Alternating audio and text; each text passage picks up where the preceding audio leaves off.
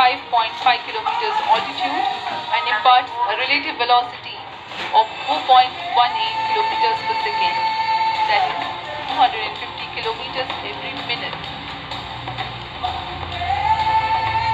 L110 stage performance normal. L three M four rocket का द्वितीय चरण पूर्णतः सामान्य निष्पादन करते हुए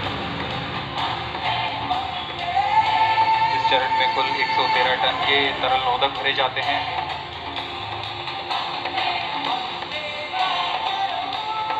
N2O तथा UH25 पर स्टोरेबल प्रॉपलेंट को ईंधन के रूप में प्रयोग किया जाता है इस चरण में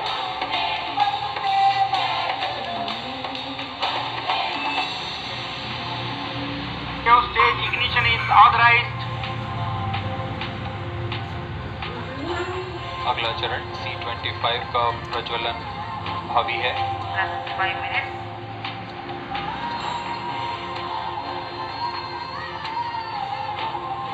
One ton stage thrust cut off and separated.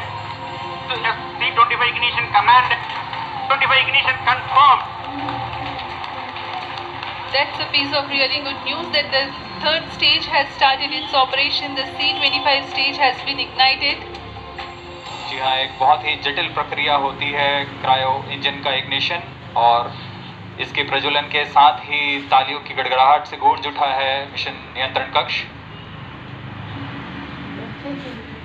तृतीय चरण। C twenty five